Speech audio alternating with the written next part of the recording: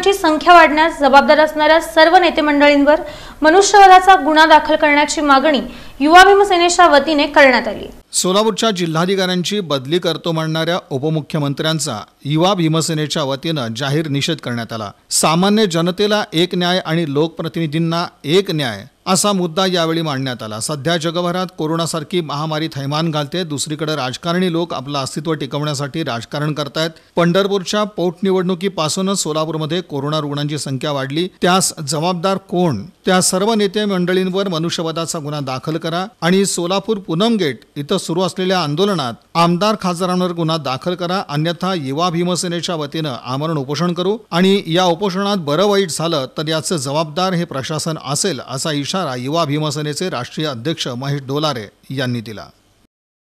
मी अजित पवार यांचा जाहीर निषेध करतो.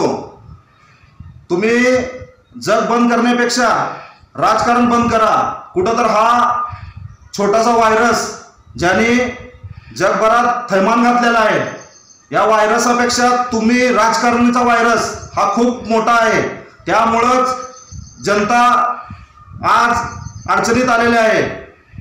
या सर्व नेत्या मंडळी हे जे आमदार खासदार आज आंदोलन करत आहेत त्यांच्यावर मनुष्यवधाचा गुन्हा दाखल करा. अन्यायता आम्ही युवा भीमसेनेच्या वतीने आमरण उपोषण करू आणि मला हे उपोषण करत असताना जर आम्हाला काय झालं तर ह्याचं जबाबदार